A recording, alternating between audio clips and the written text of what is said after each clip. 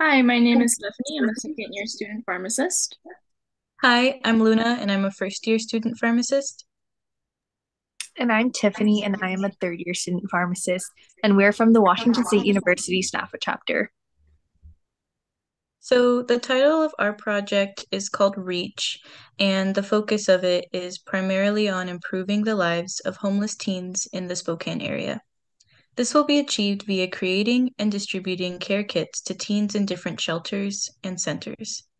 From there, we hope to provide student panels and other forms of life skills support as we continue to implement our project.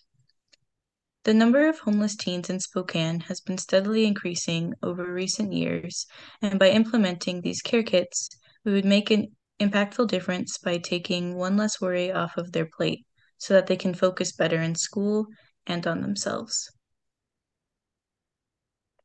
According to a study in 2018, there are approximately 3,300 homeless students in Spokane County. This puts them at a huge disadvantage in their performance in school and being able to get their diploma.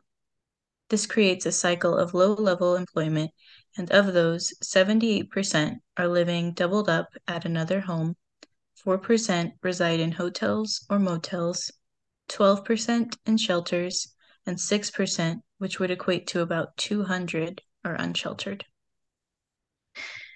The same study showed that of the 3,300 students facing homelessness, 59% regularly attended school and have fallen behind their fellow peers in the classroom.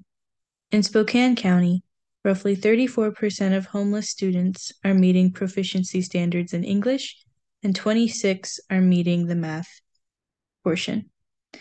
This is in comparison to housed students whose numbers are 66% and 56%, respectively. So, what is a care kit?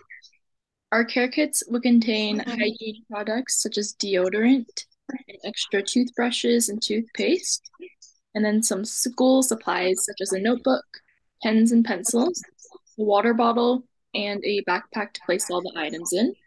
And then finally, we would like to include additional products such as hand warmers, gloves, hat, socks, blanket, and a few snacks. And we would also reach out to see what specific additional products the shelter may need at that time.